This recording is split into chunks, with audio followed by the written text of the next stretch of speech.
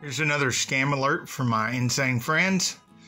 These are pop-ups that say virus detected 5, virus detected 5, and other things that they say. And no matter how many of them you click away, they just keep popping up.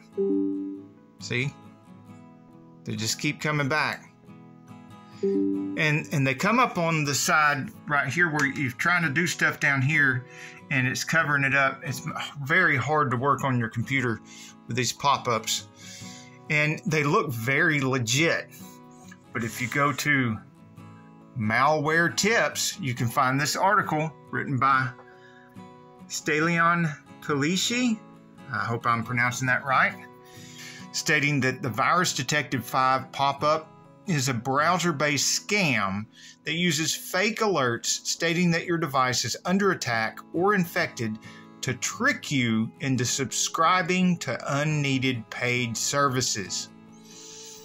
Well, the reason I looked this up is because that's exactly what I feared it was. I feared it was just some kind of scammy website or app or something trying to trick me into buying their service.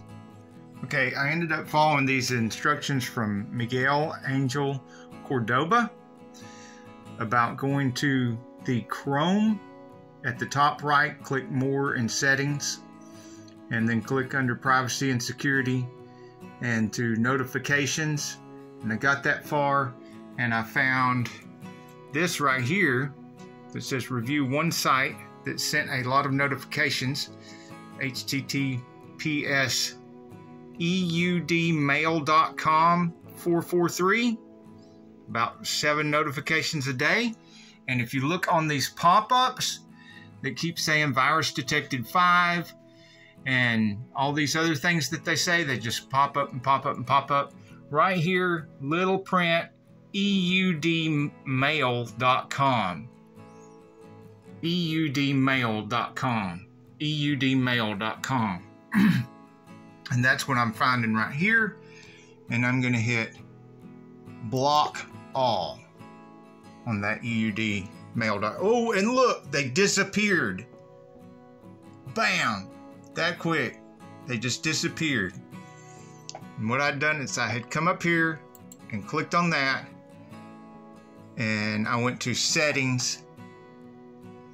And then I followed those instructions like what Miguel said right here.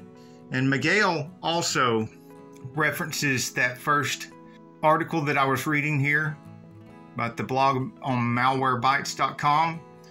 But I really didn't have to do the stuff on malwarebytes.com because his instructions here about going to Chrome and turning off these settings for the eudmail.com, that fixed it. You saw it, fixed it, it just disappeared. All those notifications disappeared once I turned off these notifications over here. It just, bam, they're gone. Problem solved. eudmail.com 443 is now under the list of things that are not allowed to send notifications to me anymore.